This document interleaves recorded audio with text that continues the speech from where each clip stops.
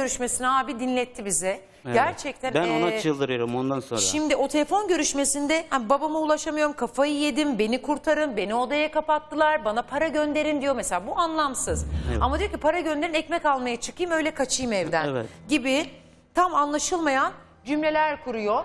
Ramazan Bey'in ev sahibi e, Hatıra Hanım telefon attığında o görüşme yapılırken Hatıra Hanım da oradaymış. Evet, evet. Hatıra Hanım Alo. E, hoş geldiniz. 18 yaşındaki Gamze e, evden ayrıldıktan sonra ilk defa 18 Temmuz tarihinde sizi arıyor. Evet. Ne dedi o telefon görüşmesinde? Neler Ya söyledi? biz- bizi aradı. Dedi annesine ulaşamadığını söyledi. Teyzeme ulaşın dedi. Teyzeme de ben ulaşamadım dedi. Ee, beni kurtarın dedi. Ee, hatta babam dedi kendi sigortada SSK'da şey yaptıydı. E, staj yaptıydı. İBAN numarası vardı. İBAN numaramı verin bana para göndersin. Bakkala diye çıkın. Ee, ondan sonra ben size nereden olduğumu iletirim. Oradan ulaşırım kaçarım hesap etti. Ben ne kadar yalvardım. Çok yalvardım. Yerini söyle ben yetişeyim ben alayım. Sonra teyzesi mesela biz e, şeye konferansa bağladık. Neye bağladınız? Gelin beni Teyze. alın dedi. Teyzesine mesela biz telefonu konferansa bağladık. Telekonferans. Telekonferans. Kimin aracılığıyla? Ee, aynı Gamze'nin aracılığıyla. Annenin Özelden aracılığıyla mı? aslında Gamze'nin geldi. diyor. Gamze'nin. Evet. Teyzemi bağlayın dedi. Biz de onu bağladık. Teyzeyi ba- ha, sizin aracılığınızla teyzeyi bağladınız. Telekonferans Evet. yaptınız. Evet. Beni kurtarın diyor. İban numarası göndereyim, bana para gönderin diyor. Ben Para buradan gönderin kaçayım diyor. Evet. Beni gelin kur- kurtarın dedi önce. Yerimi bilmiyorum. Nereden olduğumu bilmiyorum. Ağlıyordu. Nereden olduğunu söyledi.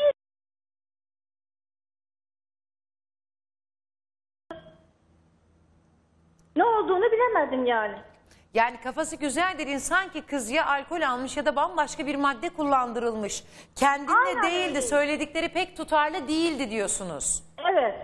Ağlıyordu sürekli. Antep'te olduğunu söyledi mi size? Antep'ten olduğunu söyledi. Ama Antep'in neresindeyim, hangi adresteyim bunu bilmiyorum Evet. dedi. Nereden olduğumu bilmiyorum dedi. Teyzesi dedi kızım bana yerini söyle ben 10 dakikada yanındayım dedi. Yerini bilmiyorum dedi. Yerini bilmiyor, İban numarası gönder. İban numarası Evet. vereyim, para gönder diyor. Evet. Babama söyleyin. Babam bana para göndersin dedi. E biz dedik nasıl göndersin? Benim dedi İBAN numaram var dedi. SSK'da kendi staj yaptıydı. Kötü alışkanlıkları var mıydı kızın? Sigara içtiğini biliyorum. Başka bir şeyini görmedim. Son cümlenizi duyamadım da. İBAN numarası gönderin dedi de yani İBAN numarası nereden aldı dersen staj yaptıydı. Stajdan verdilerdi kendine bir İBAN banka numarası. Staj O yap- numaraya gönderecek olduydu. Yani bir İban numarası var. Sizi bir kere mi aradı? Geri arayacağım dedi aramadı.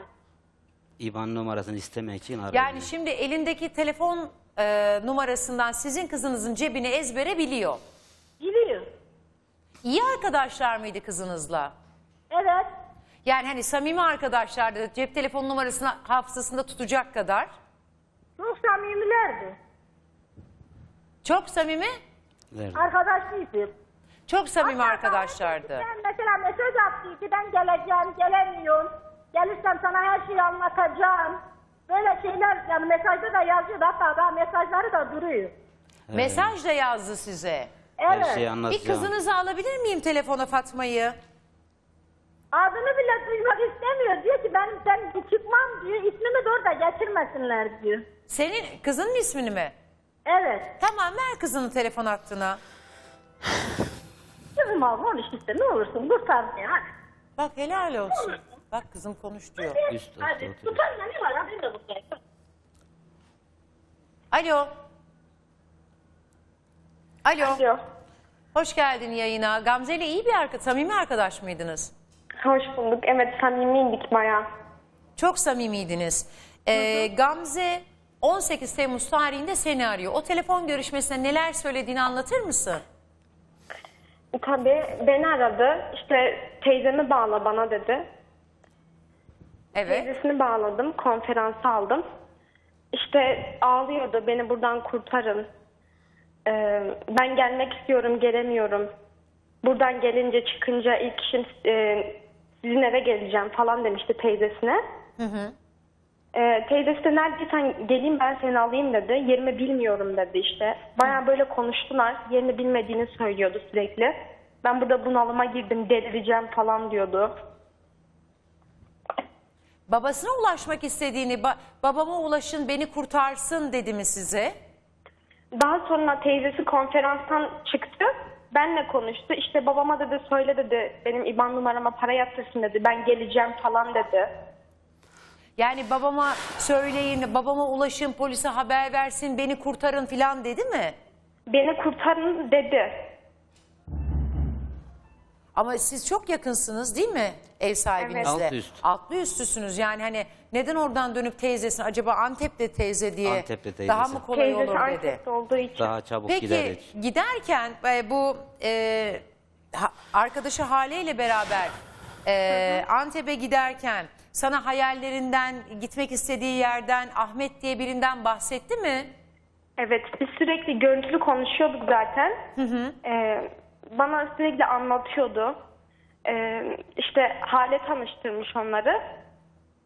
Evet. Hale de hatta birkaç gün kalmış Gamze ile birlikte orada. Evet. Daha sonradan Hale'nin e, annesiyle ilgili bir sorun çıkmış herhalde. Hani annesi Evet. falan çağırmış. Hale tekrardan evine geri dönmüş. Peki Hale ne zaman tanıştırmış e, Ahmet'le Gamze'yi? Ee, Mayıs, Haziran gibi. Yani Mayıs'ın sonlarına doğru. Mayıs'ın sonlarına doğru. Haziran'da da tüm sosyal medya hesaplarını kapattı. Sen hattan ayrılma o ismi geçen Hale telefon hattında. Hale merhaba. Merhaba. Ee, Gamze nerede Gamze Zabun?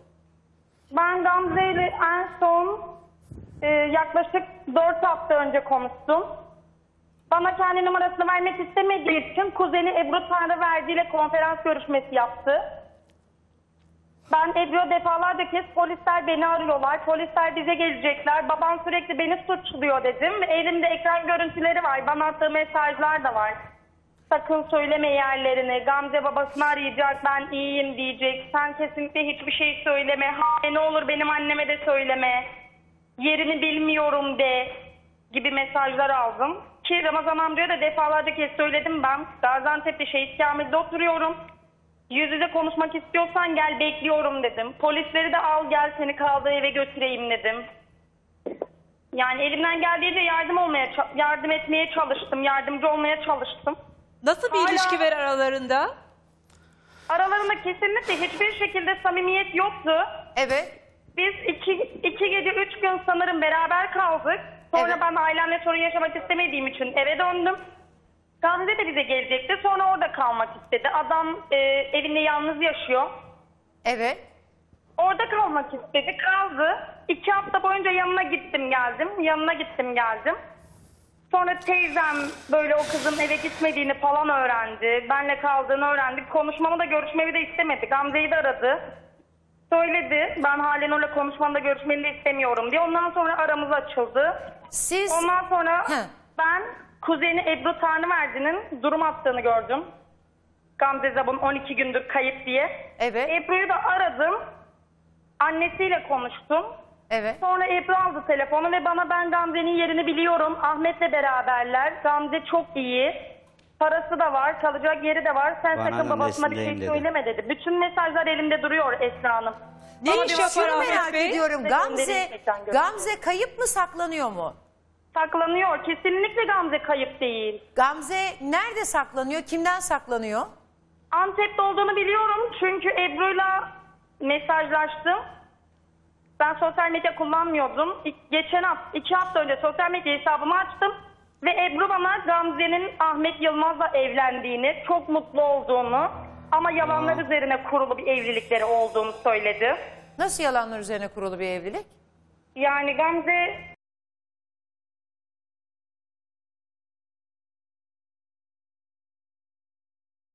kendisini.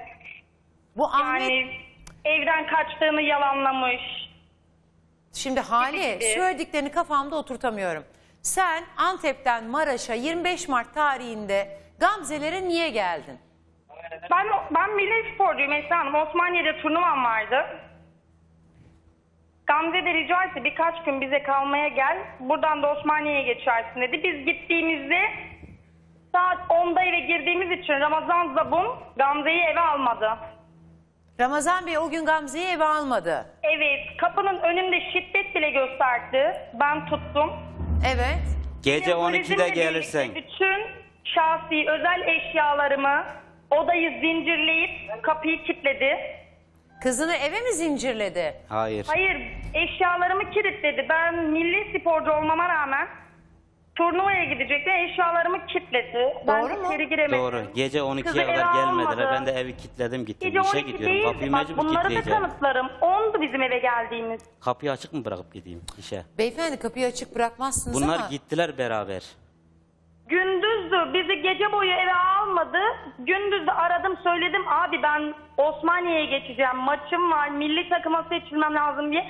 Hiçbir şekilde kapıyı zincirlemişti. Biz bacadan girdik Gamze ile. Valizimi bacadan çıkarttık. Tamam siz akşamdan gittiniz. Ben de gerçekten işe mi ba- gidiyorum. bacadan Kapıyı çıkar? açık mı bırakıp gideyim? Kapı açık mı? Herkes kapısını açık mı bırakıp Kapıyı gidiyor? normal bir şekilde kapatırsın veya anahtarla kilitlersin. Zincirli Ya da komşuya ev sahibine anahtarı bırakırsın. Kızlar geldiğinde Bunlar eve yoklardı. girsinler Git, diye. git- gidiyor dediler. Gittiler Ya de da ne bileyim sabahleyin. kovanın içine bir yere saklarsın kızın geldi. Evdeki eşyalar mı sokakta kalan kızın mı da İşte bunlar yoklardı. Gitmişlerdi. gelmeyecekler mi kızlar eve? Gelip gelmeyeceklerini bilmiyordum. Kafasına göre bir gidiyordu, bir geliyorlardı. Ha, daha önceden de Gamze böyle dışarıda kalıyor muydu? Bu arada sırada. Ya şu anlamsız zaten baba ertesi gün kızım Antep'e dayısına teyzesine gitti diyor. Haziran'da sosyal medya hesapları kapanana kadar hani ne yaptığını ne ettiğini nerede olduğunu bilmiyorsunuz. Biliyor musunuz kızınızın? Dayım da diyor yalan Evet. söylüyor. Teyzem de diyor yalan Evet, söylüyor. evet. Ya ama ben e, Biliyor musun teyzesinde bir olduğunu? akrabasında olduğunu biliyordum. Ben Ya kadınla hangi konuşuyordum. akraba abim Menekşe, ya? Menekşe diye birinde kalıyordu onu biliyordum ben. Of